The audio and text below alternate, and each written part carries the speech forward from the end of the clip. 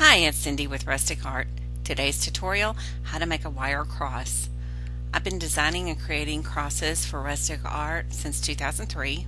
I've learned a lot of tips and mistakes and I'm going to share both of them with you today in this tutorial. This is a beaded wire cross. It's 3 inches. Um, the cross frame beneath the beads is what we're going to be making today. Uh, you need something to attach the beads to so we got to start from the beginning. And the materials that you will need for today's project include a yardstick or ruler. I prefer a yardstick for this tutorial because I'll be measuring yards of wire. Needle nose pliers, you'll need some clippers, whatever you're most comfortable with, didn't matter which ones as long as they can they can clip the wire good for you. And then you'll need some copper wire. Uh, 16 gauge is what we're using today because it's um, flexible and easy on your hands and I have an abundance of it. Going to measure out a couple of yards of wire for this project and then you'll measure your three inches of wire for your cross. Now something to remember, there's the three inches, pick it up and pinch it between your fingers and then you're going to fold it over one time.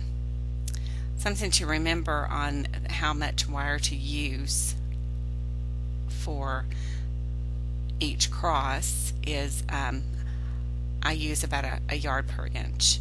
So you've got your three inches there. You're going to pick it up and you're going to actually do another fold again and that's what it's going to look like when you're finished. So you fold it once and then pick it up and you're going to fold it over again and the loop there at the top, the nice little round loop, that's going to be the top of your cross. You can pinch it between your uh, forefinger and your thumb and we're going to begin to make the cross the crossbars of the cross. For a three inch cross, I think two inch a two inch span across is quite adequate. Measure about that's about an inch and a quarter down and then you're going to bend your wire off to the side. Measure about an inch and then fold it at the inch mark, fold it back in toward the center and then grasp it between your finger and thumb to hold it secure.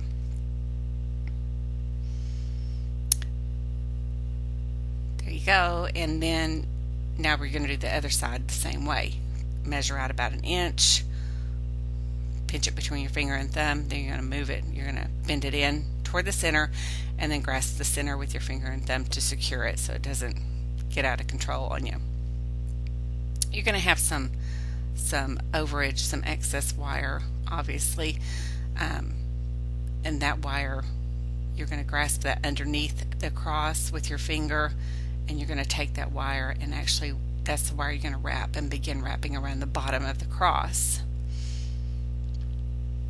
Right now your cross looks like this and see how it kind of looks wonky and because you're not holding it. So pick it up again, hold it, and you're going to take that wire and you're going to wrap it around.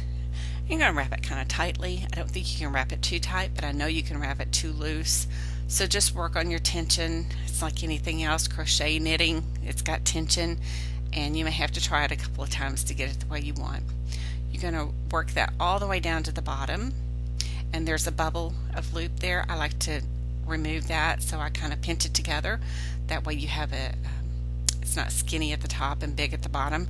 You have one uniform uh, line so kind of squeeze that together with your pliers. Of course you can leave it if you wish. It's your it's your creation so you can do as you wish. Uh, but for me I like to pinch it together. So then you're going to continue working the wire all the way down to the bottom of the cross. Once you get there you're just going to reverse your your uh, wrapping and go back up to the center. And then you're going to take the wire and you're going to begin uh, wrapping around the arms. I like to kind of take my wire and wrap it behind and then come back around the arm. I start on the right hand side because I'm right handed so that feels natural to me. So I begin wrapping to the right. And you'll see there's loops. The loops are kind of open there.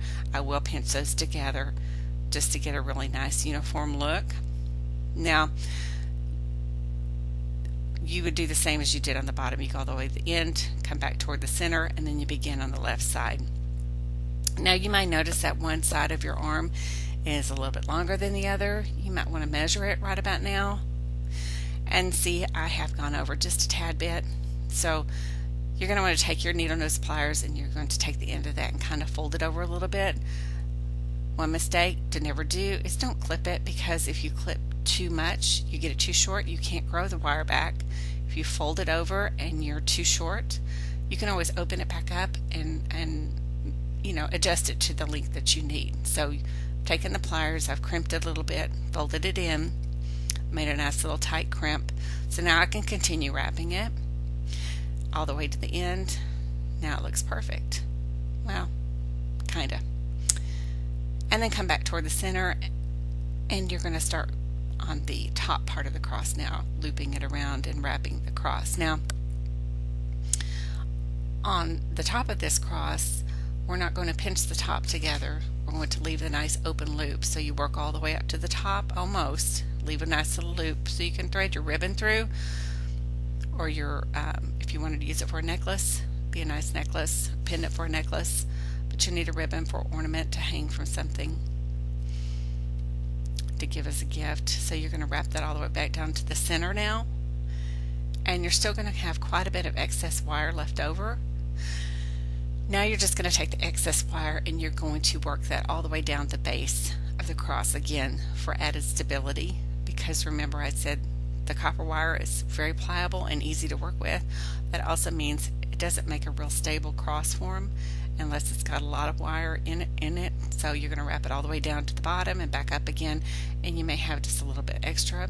That's okay. You can at this point wrap it all the way in and just add it into the cross. You can clip it off or you can leave it as a little element, a little curly cue. Do your final measurements. Looks good on the span. Looks good on the three inches. I did good. Usually I go over or under and but you know what? The heck it's handmade. That's what happens. Um, now we're going to take the little excess and grab it with our needle nose pliers and we're going to curl inward to make a little swirly little cute element for the cross these are kind of fun because you can actually add a little charm from it if you wish you can um, hammer it down and make it flat a hammered look, not the cross, just the little curly cue. It's kind of fun. I love hanging little things from them. There's the back of it. Now again, remember this isn't going to be perfect because it's handmade, but that's what makes it unique and makes it wonderful to you um, and to the person who's receiving it. So that's what your three inch cross is going to look like once you're finished. And the beading will be the next step but that's going to be in the next tutorial. I really appreciate you watching today. This is fun to teach and share with um, all of you and my readers. So thanks for watching and um, I'd like for you to visit our blog if you want to find more things to make at rustiqueartblog.com. Also, we're on Facebook and Twitter.